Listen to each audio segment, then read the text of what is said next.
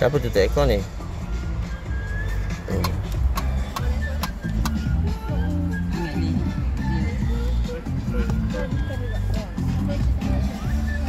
Abang nak tanya lagi boleh bang?